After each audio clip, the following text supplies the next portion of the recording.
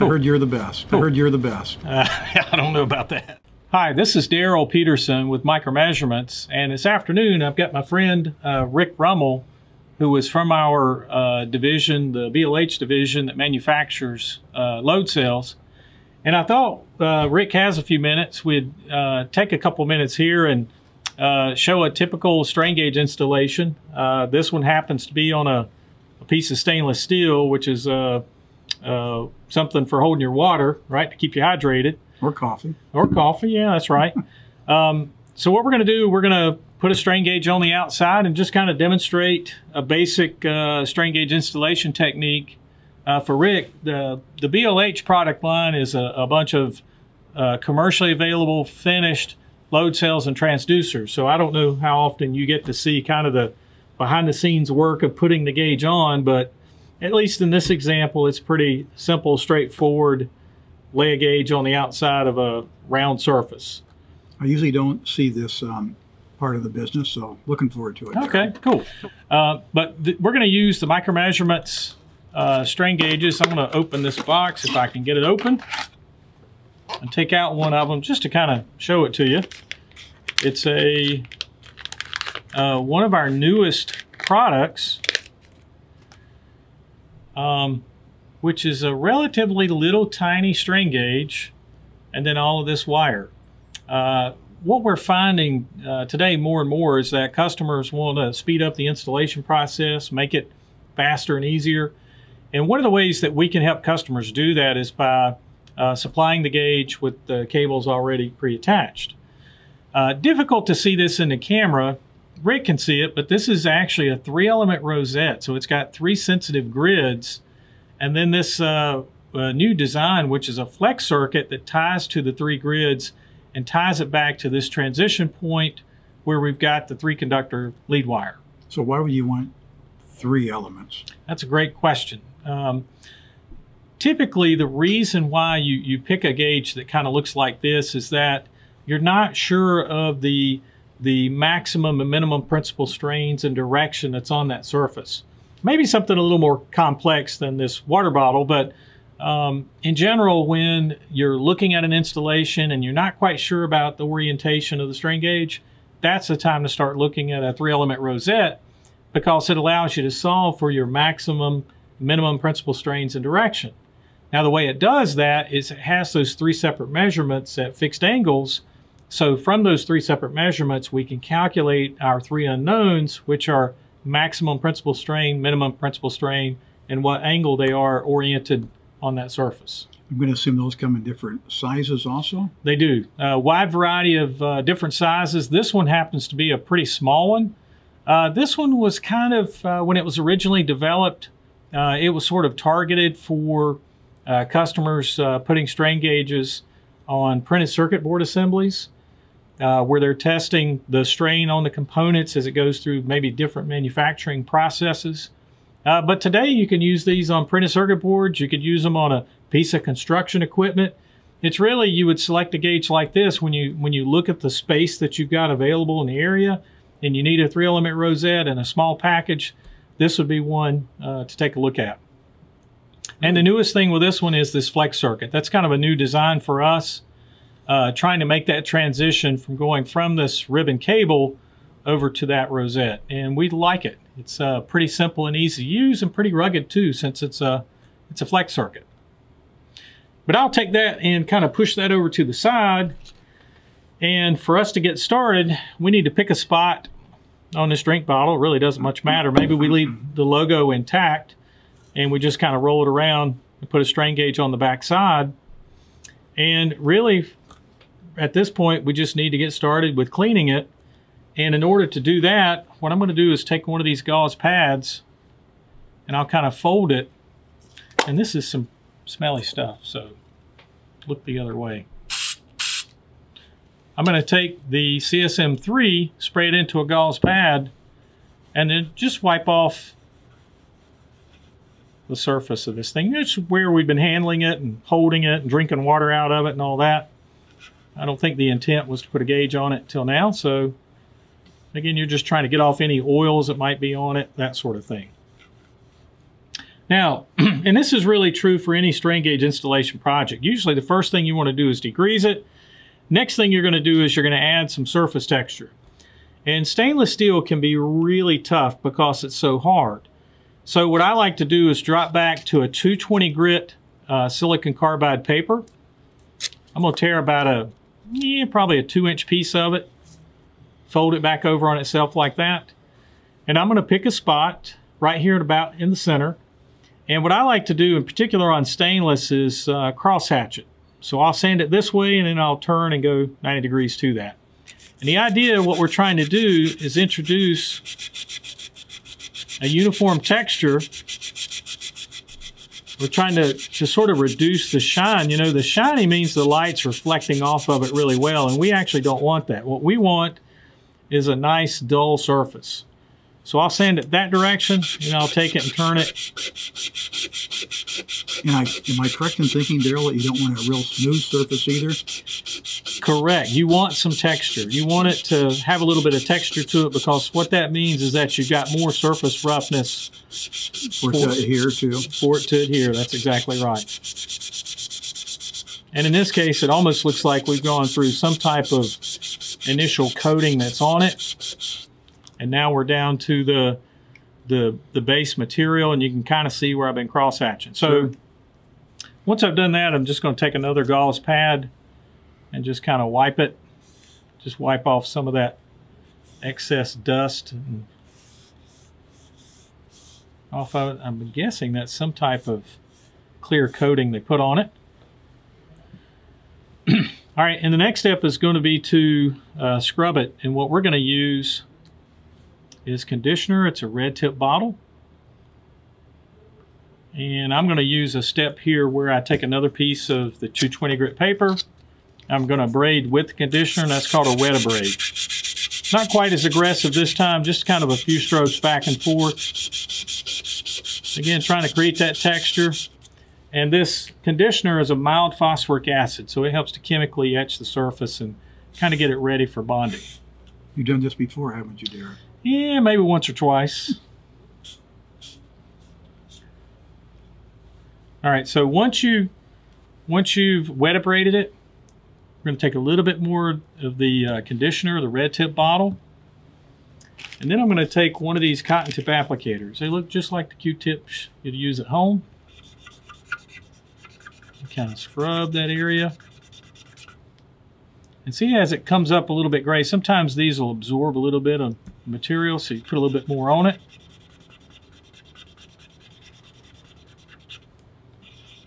And if you keep scrubbing and it keeps coming up gray, get another one. It is an etchant, so sometimes you'll find it'll have a little slight grayish tint to it. But I think that looks good. One more gauze pad to wipe it. And I try to start inside the cleaned area with a seam, with a uh, clean side of the gauze. And I'll take it and kind of fold it and go in the other direction. Now, this last step is one of the most important if you're going to use the adhesive that we're going to use, which is the M-Bond 200. And what we find is M-Bond 200 is very sensitive to the surface pH. And we just introduced the conditioner, which is a mild phosphoric acid. So the pH went down, and now what we've got to do is bring it back up. And what we're going to bring it back up with is a neutralizer. So I'll just take a few drops, put that on it. Another cotton tip applicator, and scrub it. And you can see that really it's coming up clean at this point. Now I can't say this is the exact process that they use at BLH for putting on strain gauges, but in general it's going to be something like that. They're going to degrease it, uh, they're going to abrade it, and then they're going to chemically clean it, make sure it has the right pH, and then they'll move to uh, gluing the strain gauge on. So at this point, basically this thing is ready for a strain gauge. So what we're going to do is we're going to take it and just make sure we're working on a nice clean dry sheet of paper. I'll take these top couple of sheets off. Put those to the wipe side. this down? Yeah, let's wipe off the underside of that. That's a good idea too. All right, and the next step is to get the strain gauge ready. And before we do that, we're going to take the gauge and we're going to lay it out on a clean glass plate. Clean being the the word here because we need to make sure we wipe it off because sometimes it can pick up a little bit of dust. So we'll take a couple of drops of the neutralizer and a gauze pad and just kind of wipe it off. Hey, this is old hat for you, Daryl, but this is very educational, and informative to me. Oh, cool. What you would find in a volume production, the process is, can be very similar in that they're going to be doing a lot of the same types of things. They just figure out ways to do it in much higher volumes uh, because they need to move a lot faster than Daryl can. So, all right, we're going to find the strain gauge. Always very important for you to find the strain gauge and see which side is the top side and which side is the bottom side.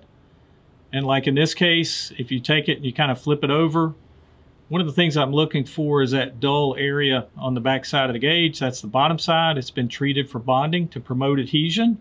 And this is the top side. And you can tell that, it's hard to see in the camera, but you can tell that from the solder connections. And what I'm thinking that we'll do is maybe lay the gauge going in this direction or we could lay it in that direction or that direction, but really with a three element rosette, quite frankly, it doesn't matter. Uh, but what I'm thinking we're going to do is we're just going to lay it and we'll just wrap the wires around the, uh, the can. We could go that way. Or we could, quite frankly, we could go at an angle if we want to. What do you think? With a three element rosette, it really doesn't matter.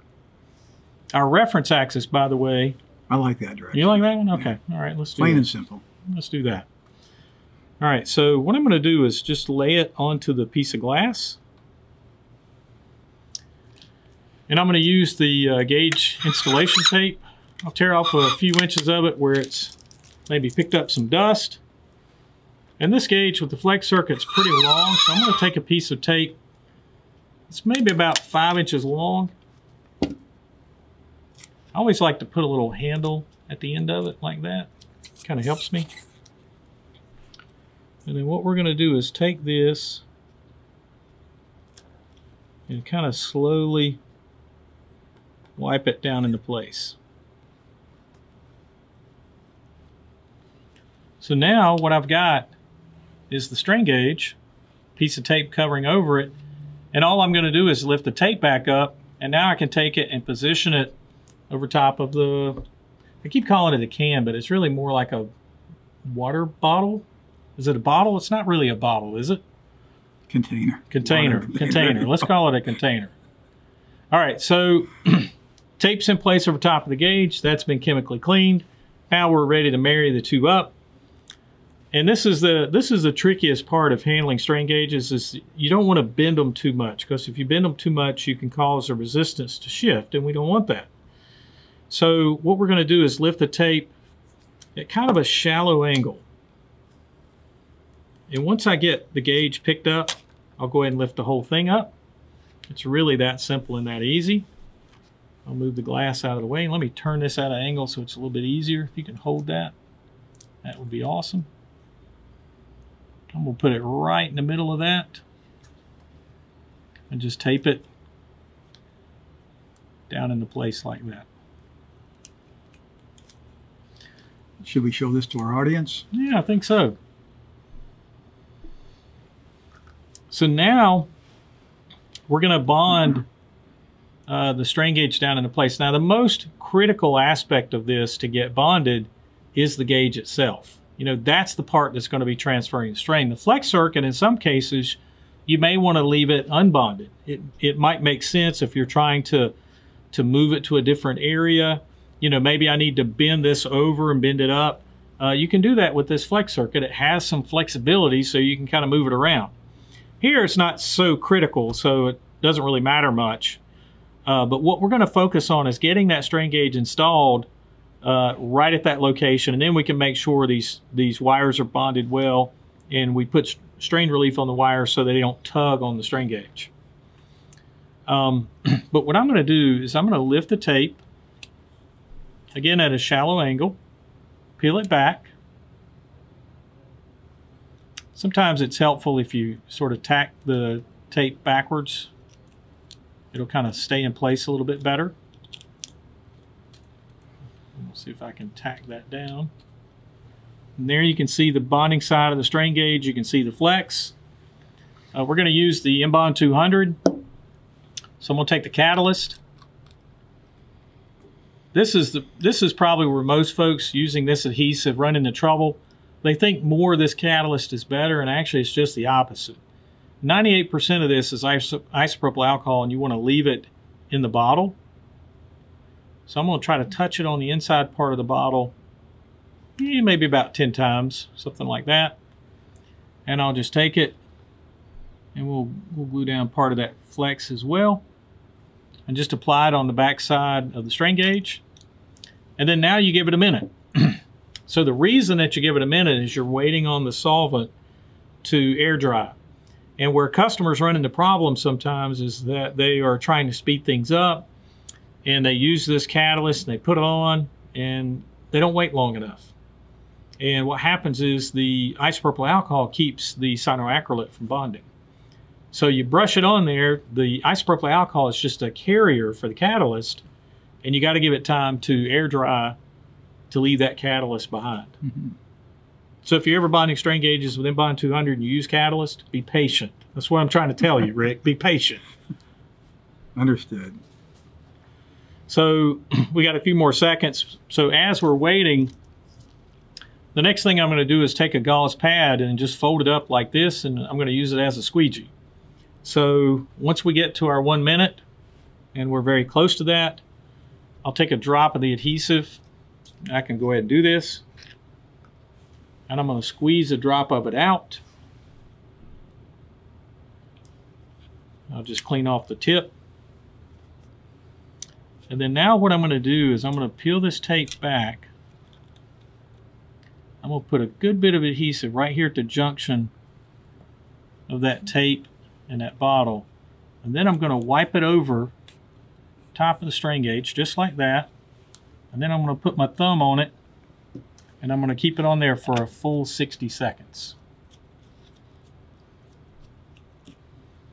So set my timer. So let me hold it. So you can pick it up and you can move it around. Um, at this point, we've got kind of the front side of this flex circuit and the strain gauge bonded uh, we can go back and bond uh, this other side as well just to help keep the flex circuit down on the surface and keep the wires, you know, make sure they've got a good base so they mm-hmm. don't uh, they don't come off. So the um, wire cable run, whatever you call this, mm-hmm. how far can you go?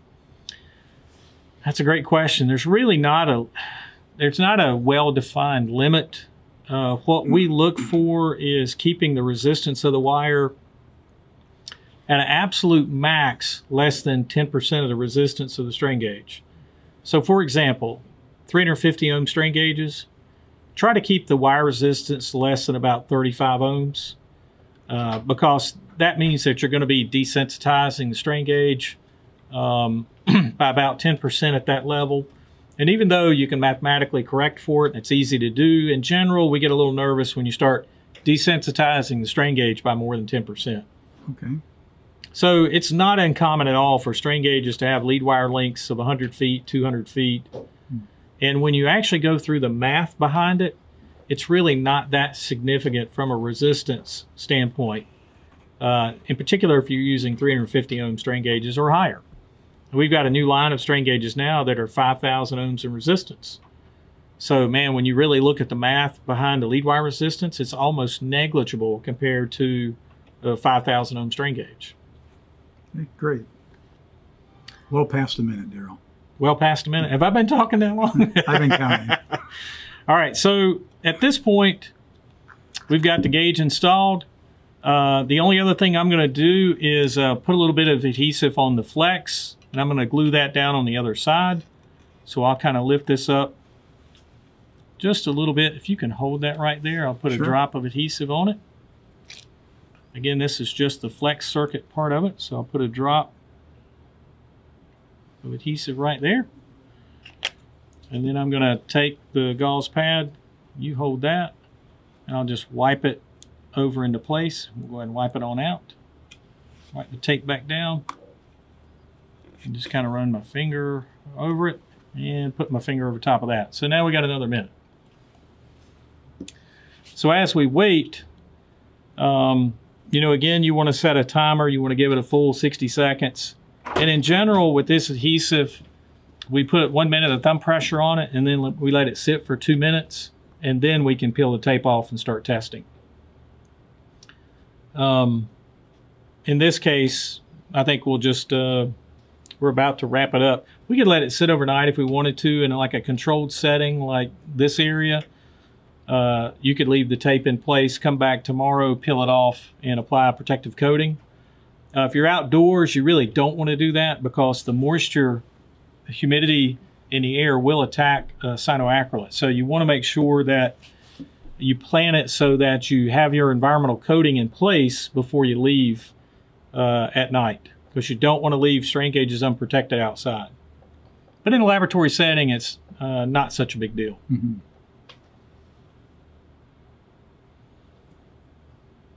Okay, I think I've waited my one minute for that. You'll notice I turn my thumb a little bit. Sometimes the outer edge of your thumb will get stuck down by the adhesive. And if you find that to be the case, instead of lifting up, just take it and turn it and it should release. And at this point, normally what we would do is let it sit for two more minutes. And then we're basically ready to take the tape off and apply the protective coating. Um, since the gauge has already been sitting there, I'm going to start this tape at the gauge side. I don't know how well you can see that in the camera, but I'll start it. Notice how I'll peel it directly back on itself, all the way down uh, to the flex, and then off the wires. And so we've got the gauge installed. we've got the flex circuit bonded.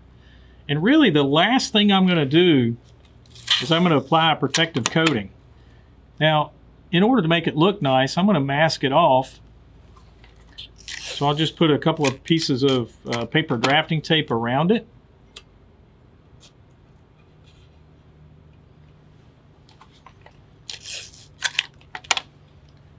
Put that around the gauge.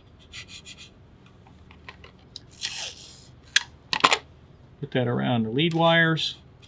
And we'll come back and we'll add some additional strain relief to these wires later on. But I want to go ahead and get this protective coating on it. Uh, this protective coating that we're going to use is the M-Coat C, which is a, this is actually a Dow Corning product. It's 3140 that we add some solvent to it. Uh, fantastic environmental coating for laboratory settings.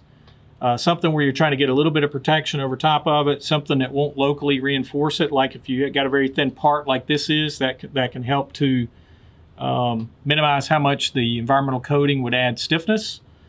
Uh, it also has a very wide temperature range up to about 500 degrees Fahrenheit. You know, the great thing about it is it's very easy to brush on. So what I'm going to do is just kind of brush it around, brush it over top of the little flex circuit, over top of the wires. It's uh, self-leveling, so if you give it a minute, it'll kind of level itself out. And that's really it. Now, in general, when you're installing gauges, it's a good idea to check them electrically before you put on an environmental coating. Um, in this case, we just sort of cut that step out, went straight to putting on the environmental coating. We're going to let that dry, and we'll come back tomorrow, and uh, we'll be able to test this. Fantastic. Very So- good job, Daryl. So that's a strain gauge installation. Maybe not quite the same as what you'd put inside of a load cell, but uh, a lot of the process is very similar. Sure. Okay. Well, thanks for the demonstration. All right, you're welcome. So if you'd like to find out more about strain gauge installation or uh, any of these products that we've used during the installation, uh, please feel free to visit the website at www.micro-measurements.com. Or if you're looking for load cells, go W- visit BLH. www.blhnobel.com. Cool. Thanks, Rick. Thank you, Daryl.